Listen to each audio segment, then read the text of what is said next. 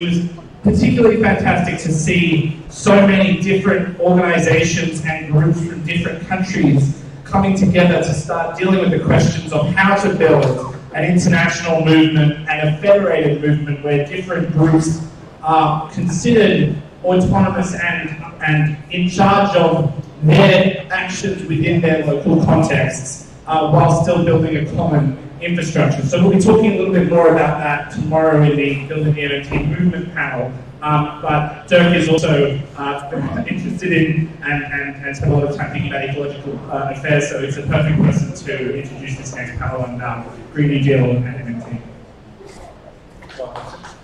Thank you, Rohan. Thank all of you uh, for attending, uh, and also I would like to thank Modern Money Network. I would like to thank the Modern Money Network for, for having me.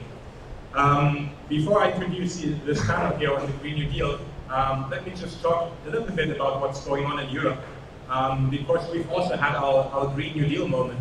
Um, in Germany, it came in 2009 when the Green Party introduced the Green New Deal, uh, and they, they uh, incorporated that into their, their platform, into their election uh, platform. Um, so that was 10 years ago, um, at the height of the great financial crisis, when it turned into a the European crisis. Um, and by now, the Green Party is the party that is polling best in, the United, uh, in, the, uh, in Germany. Um, so it has 28%, uh, being at the same level as the Conservative Party.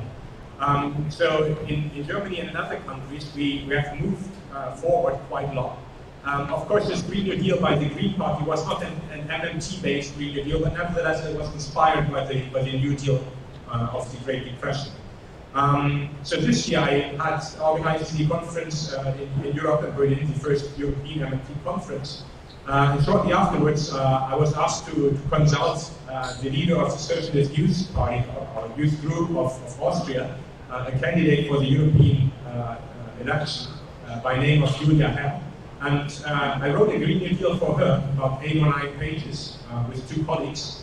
Um, and that was linked uh, into the party platform of the Social Democrats of Austria. Um, it was very surprising for us because I've never counseled anybody from Austria before. Um, but they took this proposal and incorporated that into the party platform. And now, uh, on Sunday, there will be elections in Austria. I'm afraid that the Social Democrats won't do very well, but at least their party platform uh, basically says that they will uh, fight for a job guarantee, um, they will fight for a minimum job of 1,700 euros per month, tax-free, which is roughly 1,800 uh, dollars per month, tax-free. Um, they have incorporated elements of the Green New Deal that we introduced in April. Um, so I can tell you that in Europe things are moving, uh, and they're moving very quickly. Um, also, we have this Green New Deal for Europe platform, which uh, has been published at the beginning of September. So we argue that the Green Deal must be created to move Europe forward. Because everybody knows on the whole planet uh, that we have to coordinate our actions. Okay, so the US alone cannot stop climate change. Europe alone cannot stop climate change. So we need to work together. Um, but I think that, that, in Europe now that people have understood that somebody needs to start. Okay? And I think it's very important politically that, that we have this movement all over the world that we're trying to, to make this happen. And that we do not get bogged down by things like, okay, but what if the Chinese don't join us, or what if the, the Americans don't join us from the European perspective, or what if Europe doesn't join? Um, so, so of course, there could be a problem of free riding that, that some people or some, some countries are doing some kind of Green Deal, using less energy, using less oil, and the oil price comes down, and the other countries get more competitive because of that. Yes, that is a problem. Um, and that needs to be addressed. So, so this Green New Deal thing, it's, it's a very complicated matter, and we have not been there before. So, so when I was looking at the other panel, which just ended, uh, it said that it, it all goes down to, to stuff that we, we seem to know from the Enlightenment. Um, and if you look into the Enlightenment in economics, we, we always have saw that nature is something which is kind of exogenous. Okay, but, but now we live in an age uh, where we are basically managing the, the whole planet. Okay, so we have a very big influence on that planet, on this planet. So, so we should take responsibility. Uh, but this message, of course, needs a while to sink in, sink in because it does not resonate well with this kind of, of Kantian enlightenment issues. Okay, so reason has nothing to do with it, or maybe a little bit. But this is not about individual reason, this is about collective action. Okay, and this is why sometimes it is very hard, uh, at least in Europe, um, to, to basically make people uh, believe that we, we can do this, that we have to do this together, because we're not, we're not really used to doing things together anymore.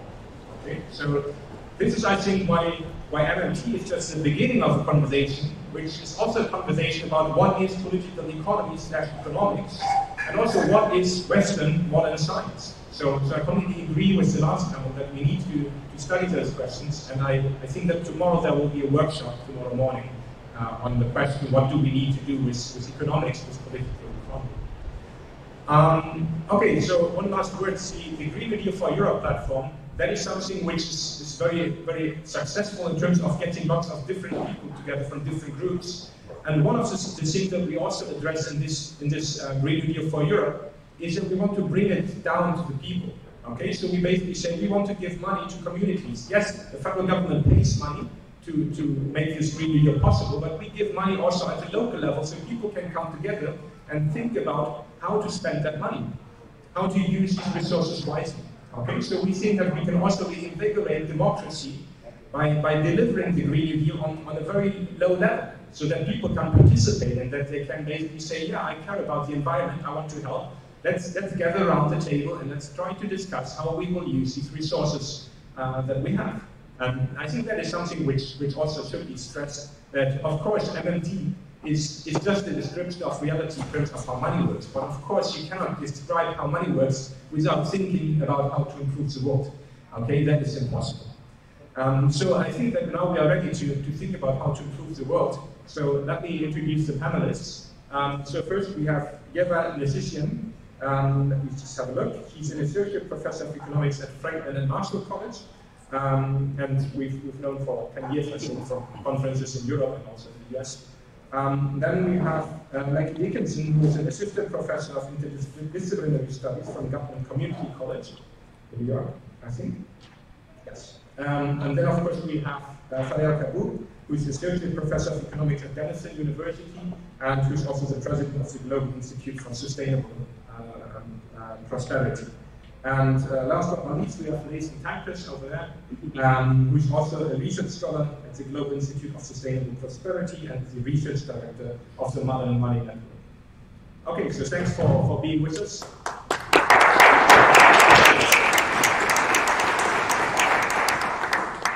And uh, I think that um, we can start with presentations. Uh, would you go first?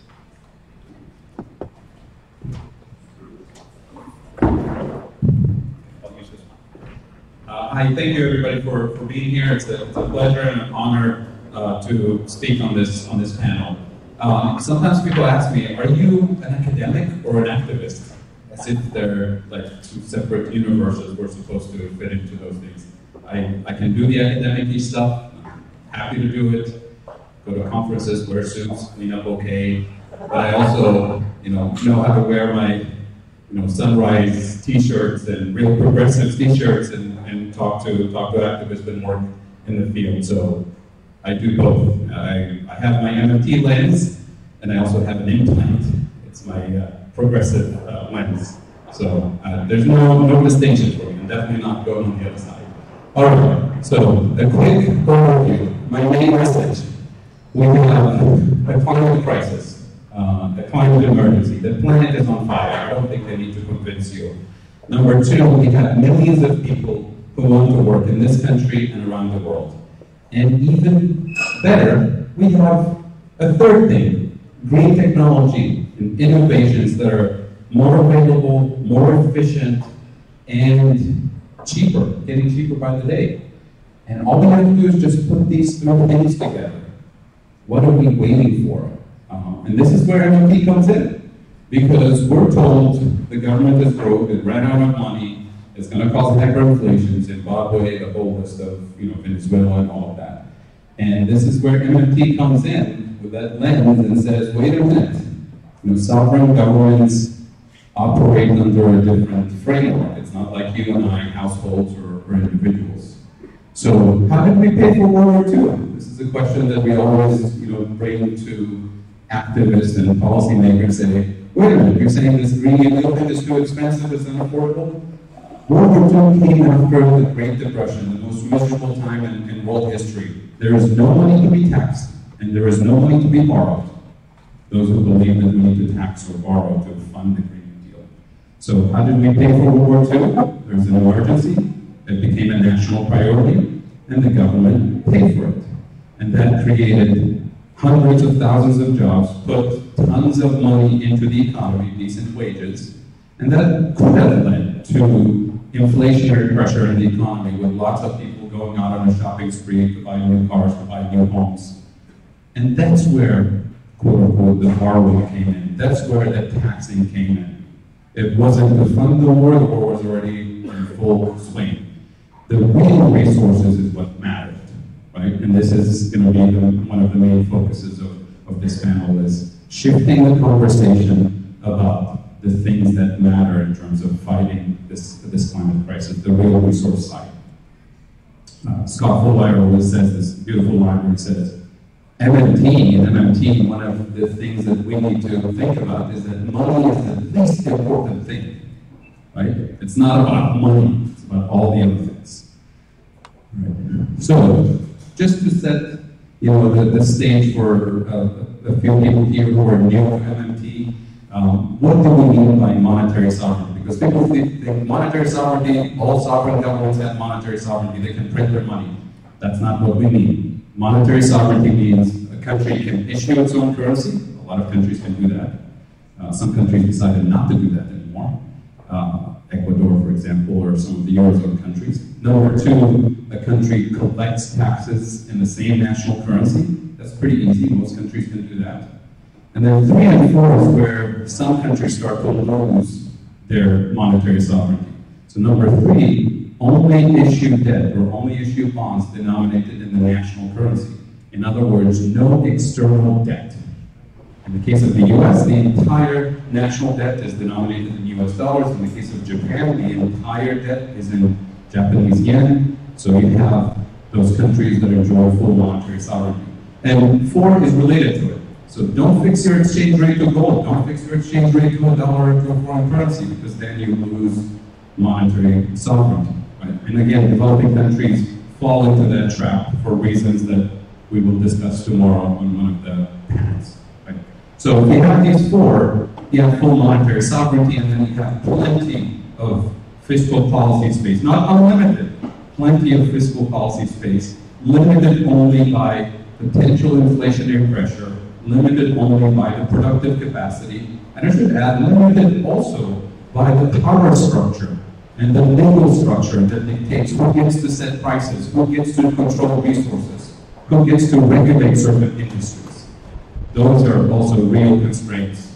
And that's where the MMT lens clarifies what matters, who's in charge, and then we use the power of regulation and taxation and the democratic process to tackle those issues, as opposed to saying, we run out of money, there's nothing we can do.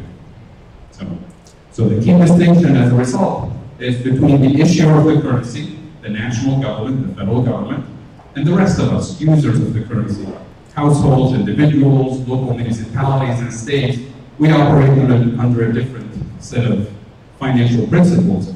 You and I have to work hard, earn an income, then spend it. And if we want to spend more, we have to borrow and accumulate debt, which means we have to pay it off with interest, which means we have to work harder, earn more money, or spend less to pay for it. Same thing for states and municipalities and companies and individuals, currency users, right? the national government operates under a different principle. It's the issue of the currency. It's a matter of logic. It has to spend money into existence so that the rest of us can use it, spend it, borrow it, lend it to each other. And then it collects taxes as a, as a reflux. It, it, in a sense, it, it's a sequence of events that happens, spend first, tax later. So that means the purpose of taxation is not to fund things. It's a completely different role for taxation, which I think Nathan also addressed today. So that doesn't mean MMT says we shouldn't be taxing the rich, we shouldn't be taxing oil companies. This is my you know, political lens here. Definitely tax the rich, definitely tax corporations to reduce their power and influence in the economy, to protect democracy from oligarchy. tax away to reduce inequality. Not because we need their money or their permission to do all these things, but because these things matter in a democratic uh, society and matter for economic purposes and matter, matter for inflationary purposes. Right? But not because we need money or permission to fund the Green New So, there's a spectrum of monetary sovereignty. Not all countries have full monetary sovereignty. So based on that definition, you have countries like the US, Japan, the UK, Australia that enjoy full monetary sovereignty, have plenty of you know, fiscal policy space to intervene. And those countries should be the leaders in fighting climate change and addressing these issues. But then you have countries that, on the other extreme, have completely gave up their national sovereign, monetary sovereignty, like Ecuador, countries that dollarize, countries that decide, you know, we don't trust know, fiscal authorities and politicians with, with, the, with the power of the purse, we're going to completely remove monetary sovereignty. But most developing countries are kind of in between, depending on the level of um, external debt that they, that they have. So again, we'll talk about that tomorrow. So for me, the Green New Deal, with all the great discussions that we've had over the last few months about its potential, we can't have a Green New Deal without a job guarantee. It's not an add-on, this is not like, you know, progressive have a, the beautiful progressive shopping list that we want to include in the Green Union. This is a key feature, and it's technical. It's not just a nice add-on, right? So the philosophy for me for the Green New Deal is that, and for a job guarantee, is that you take people as they are, where they are, and you do on-the-job pay training with benefits, a comprehensive set of benefits. So we don't tell people, move to San Francisco, learn how to code, that's where the jobs are. That, that doesn't work. So, in other words, we don't give up on people, we lift everybody up to higher grounds, and we rebuild communities from, from within. That's very, that's very important. The other reason the job guarantee is important is the Green New Deal, one of the goals is to decarbonize the economy, end the fossil fuel extraction, and transform the entire engine of the economy. We will displace workers, we will displace industries, but without a job guarantee, we will not have a just transition. The goal is to end fossil fuel extraction and pollution, but not to end people's livelihoods. So this is a key component. We can't have this without a just transition, without a job guarantee. Um, so what is the Green New Deal? Federally funded, there's only the federal government can do it locally implemented in a decentralized way. Uh, it's urban and rural, it's inclusive, it's just, it's restorative. We can't afford to have a haphazard, you know, climate change, you know, policy without addressing the needs of communities from, from within. It needs to be comprehensive and, and permanent. We can't do this for a few years and, and give up on this. This is massive. The good news is that the job guarantee is the most popular policy in the United States today hands down. And, and this really surprised a lot of Democrats who paid for these you know, polling companies to do this.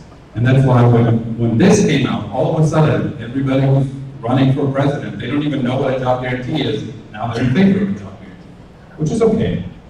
Um, so the Green New Deal, same thing. This is massively popular, uh, including for Republicans and Trump voters. You know, not the majority, but 35% of Trump voters are okay with the Green New Deal because guess what? They like clean water and they like clean soil and they like clean air. But they're afraid, because of the dominant narrative, that their job is going to be on the line or they're going to have to pay higher taxes to pay for this. So the MMT lens here comes in to empower people of all political persuasions that this is not political in a sense. This is technical. This is how we pay for it. Your job is not online. And your taxes may not have. Because we're not going to tax the working class and middle class to pay for this because we know better. Right? All right. So this is a job guarantee also uh. So can we afford it? Yes, we can. Can we afford this? Can we afford the consequences of climate change?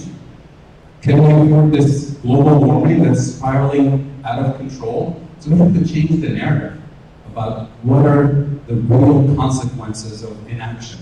Those who say it's too expensive to do a Green New Deal, have to say it's too expensive not to introduce a Green New Deal. We're already paying many times over the actual cost of what we want to introduce by not doing anything.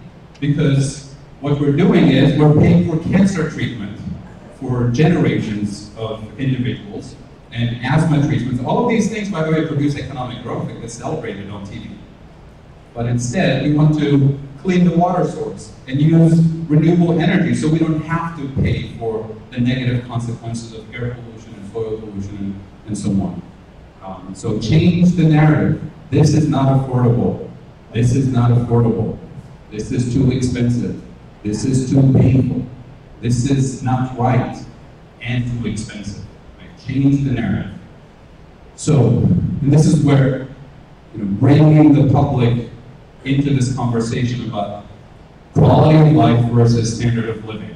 Because they're being fed this GDP growth is the only way. There is no alternative, right? What we want to say is, let's look at the real metric that really matters to our quality of life. Regardless of political persuasion, people want better quality of life. So using something like the Genuine Progress Indicator, GPI, to show that we've been stagnating in terms of quality of life, and people know it because people live it. They just don't know what's, they just blame something else for their struggles, for the stagnation of quality of life, for pollution, for illnesses, and so on. So we have to empower people with a metric, with a narrative, and with a clear lens that says this is how we pay for it, and this is what, uh, how we do it. So in conclusion, and I, I left quite a few of the details to some of my colleagues on the panel to fill in, but I'm happy to answer questions. So number one, we're running out of time. There's no time to start with small experimental and incremental, you know, centrist third way type of uh, policies. Bold action. The climate crisis, the inequality crisis, the poverty, socioeconomic exclusion, and justice, these things call for bold and transformative action, not small and experimental actions. So what we have so far, the policies for climate, for jobs are too weak, too slow, too expensive, and they don't even work. Sustainable prosperity is our only way out. So it's not either jobs or climate. There's, there's no trade-off. We know how to do this without bankrupting the country, without causing hyperinflation, without eliminating you know, people's sources of livelihood, without the just transition. We know how to do this. We have the mechanics. We have the details. So economic justice and climate justice with a living wage Green New Deal. This is possible, desirable, and affordable. Thank you.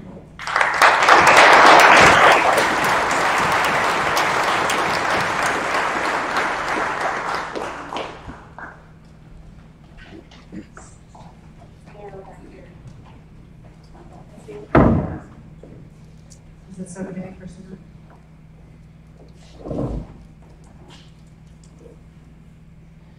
Um, Hi, everybody. Uh, My name is Maggie Dickinson. I'm so happy to be here today and to be included in this conversation. So I'm an anthropologist, not an economist. Um, So I come with a slightly different perspective in some ways. I'm very much more on the ground. Um, So I'm going to be talking today about a few things. One is the potential for a Green New Deal to transform the politics of food and hunger um, in the United States. Um, partly because I come at this as a welfare state scholar, so the conversation about a Green New Deal is obviously very resonant with welfare state politics as we've known them. And, so the first thing I want to do is think about where our welfare state is today. Uh, and this will be from a US perspective, so I'm sorry for those of you who are non US. Uh, it's my bias, sorry. so since the turn of the millennium in the 21st century, we have seen an unprecedented outpouring of food assistance, in particular, in the United States. That includes both SNAP, which is the program that used to be called food stamps, right? But also things like emergency food. So the charitable food networks, soup kitchens, food banks. Um, and this is just to give you a little bit of a sense of this growth. So during the George W. Bush administration, right, under a Republican administration, the food stamp rolls rose from about 18 million in 2001 to 27 million in 2008. And then this growth, of course, gained even more momentum with the recession that began in 2000, 2008, reaching 47 million Americans in 2012. That's 15% of the US population that was enrolled in food stamps at the height of the recession. And those numbers have actually stayed relatively stable despite the fact that we've had an official economic recovery. So in 2017, about 42 million people were enrolled in food stamps. Um, when it comes to emergency food, there's also been massive growth in that sector, from 25 million people served by soup kitchens and food pantries in 2005 to 46.5 million in 2012. So food assistance has basically become the leading edge of our response to growing poverty and economic insecurity in the United States. And yet, despite this massive expansion of the food safety net, more than 41 million Americans experienced food insecurity, which is the very wonky term that we use for hunger here in the United States. Um, 41 million Americans experience food insecurity, right? And in fact, levels of food insecurity have remained basically flat since the USDA began collecting this data in 1995.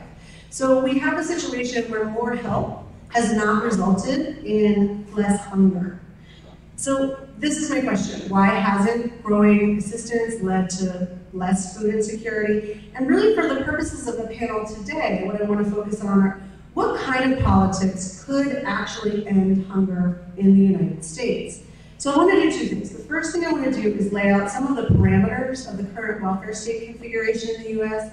And then the second thing I want to do is talk about how a Green New Deal really opens up possibilities for ending hunger here uh, in the United States.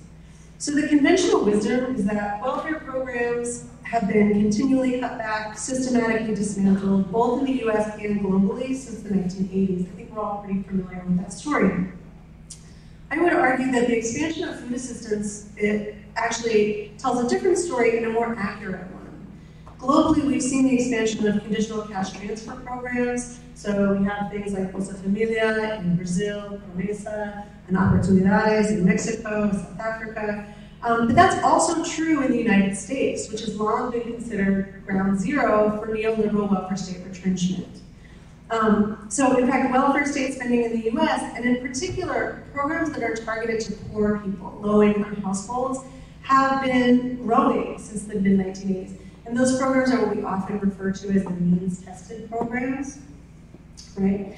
This growth has been targeted specifically to working poor households. It's subsidizing low wages through programs like SNAP, and also I think the other big one is the Earned Income Tax Credit. And actually, the transformation of food assistance is really in many ways modeled on the EITC, the Earned Income Tax Credit, in that increasingly it's subsidizing low wages and excluding people who are outside of the formal labor market.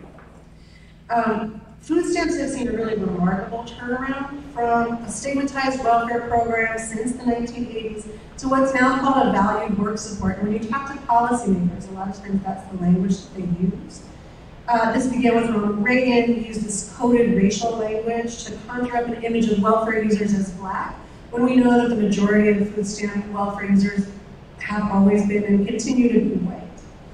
Um, he used these thinly veiled racist terms of the welfare queen to build support for a political agenda that was aimed at dismantling and undermining social protections for poor and working class people. And of course, this is part of a much bigger political and economic project. And then Clinton's welfare reforms in 1996 sort of solidified this bipartisan consensus of moving people from welfare to work. That was really the mantra at that time. Um, that legislation added work requirements to cash assistance and to food stamp programs that were meant to push people into the labor force. Ron Haskins, who is one of the architects of this legislation, uh, was quoted as saying, mothers on welfare, even with those with young children, should be encouraged cajoled, and when necessary, forced to work, right? This was the thinking at the time. However, this promise that work would be the path to self-sufficiency, I think we all know was an illusion, right? Uh, the kinds of jobs that were available to women who were leaving the welfare roles in the 90s included care work of various kinds, caring for children, elderly people, home health aides, um, and they found jobs in the tight labor markets of the 1990s, but very little relief from poverty. So in this context, what we've seen is that full-time working moms who are struggling to make ends meet uh, emerged as a new kind of deserving poor. And welfare spending and program administration since the 1990s has been transformed to modify and expand some means-tested welfare benefits to subsidize low wages to make work pay. Um, and then on the other side of this, right, families who don't have access to formal employment. So when I was doing ethnographic research, people who are outside of the labor market, either because they're unemployed or they're in the informal economy in some way, they're subject to incredibly punitive workfare regimes when they attempt to access assistance. So in New York City, where I was doing this research, um, people were made to clean the parks, clean out the subways when they were unemployed and went to apply for assistance. And for that labor, at the time of my research, they were paying, being paid somewhere between $2.48 an hour and $4.18 an hour, right? For the work that they were being forced to do in exchange for welfare benefits.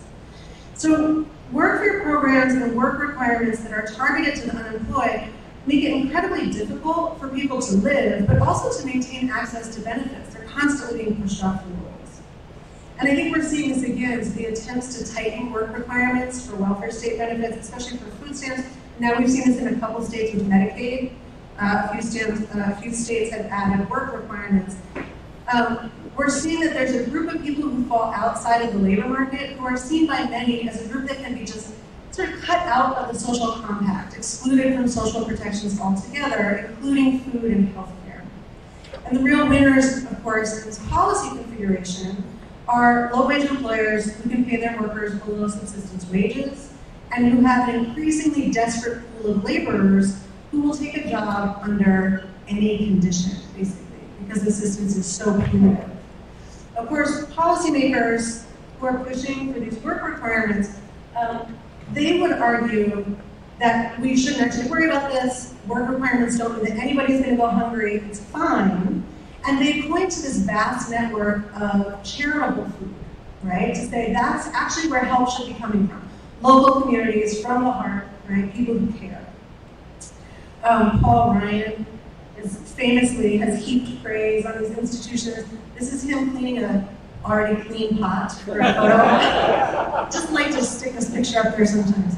Uh, when he was running for a re-election. So he said that our hearts and our conscience have called us to do the work that needs doing.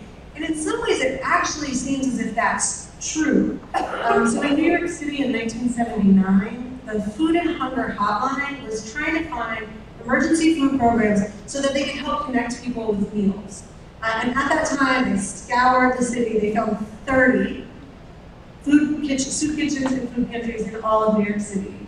Today, the Food Bank of New York City serves over a thousand of these institutions, many of them who serve thousands of meals a week to people in their communities. And nationally, there are 58,000 soup kitchens and food pantries, right? So it kind of seems like maybe our hearts and our consciences have been calling to us, except for that story isn't true, right? It's federal funding that's brought all of this giant network into being. Um, so I would say, in some ways, emergency food is kind of a classic example of public-private partnerships. And I just want to echo, uh, you know, what Nathan and others wrote in the recent op-ed, it's also kind of a warning about why we shouldn't be leaning on public-partner partnerships when we're thinking about a Green New Deal. Right? Um, emergency food constitutes a third rail of the contemporary welfare state. So food pantries and soup kitchens before the 1980s were very small. They didn't have any regular or reliable funds. And then in 1983, Congress passed the TEFAP legislation. It was the Temporary Emergency Food Assistance Program. And this legislation provided funds for surplus food. Um, in the early 80s, it was cheese, right? A lot of surplus dairy that was being bought up from farmers. Um, but it also provided administrative funds, money to help small organizations pay to distribute this food. And it was these two streams, right, surplus food and also administrative fundings that gave communities that didn't have a food bank at the time an incentive to develop one. And obviously, it was an effective incentive, right? The problem with emergency food, of course, is that it's not uh, designed around protecting a right to food. You can't demand food from a food pantry. They run out, too bad. If they don't treat you nice, there's really nothing you can do. It's not protected. Um, emergency food providers also rely very heavily on volunteer labor to distribute these resources. So 68% of food pantries uh, and 42% of soup kitchens report relying entirely on volunteers. They have no paid staff whatsoever. And I think it's partly because there are so many community members involved as volunteers that it really gives the impression that these are organizations that are from the heart, right? It hides the fact that it's really federal funding that's spurring them into being. Um, the other thing, of course, that this federal funding stream does is that it creates a food network that can deal with corporate food surpluses, right? This is the other side of it. Uh, food processors and retailers can dispose of foods that don't find a market, um, and then they also get a tax break for doing that, right? And this is all while burnishing their corporate image. Walmart is one of the major contributors to the emergency food networks in the United States. So EFPs are organized in ways that ensure that they can't fully meet the needs of the people who rely on them. They're shoestring operations. They often turn people away because they don't have enough food. And volunteers play a really crucial role in deflecting people's complaints in these organizations. So I actually, uh, part of my research was working in a soup kitchen and food pantry for three years. And one of the things that would happen is people would complain, right? People coming in would complain, why don't you have this? My friend got this earlier. And always there was somebody else in the line who would say, hey, don't give them a hard time. They're just volunteers. They don't need to be doing this, right? They don't need to be doing this. But the irony of it was almost everybody who worked there as a regular volunteer really did need to be doing it, right? They were all uh, women working with either not working at all or had very limited incomes who relied very heavily on the food that they took home with them at the end of the day, right? So federal food assistance and emergency food providers, um, they play an important role in making sure that people have something to eat, but as they're currently structured, they're designed to manage poverty and food insecurity, not to end it. So this brings us to the million dollar question, right? What would it take to end hunger in the United States? Um, there's long been arguments for a rights-based approach to food, and their groundbreaking work, um, Jean Drèze and Amartya Sen, point out that hunger and famine aren't caused by food shortages in the modern era, but what they call entitlement failures. So people lack food and resources because they can't make and then enforce a claim to the food that exists.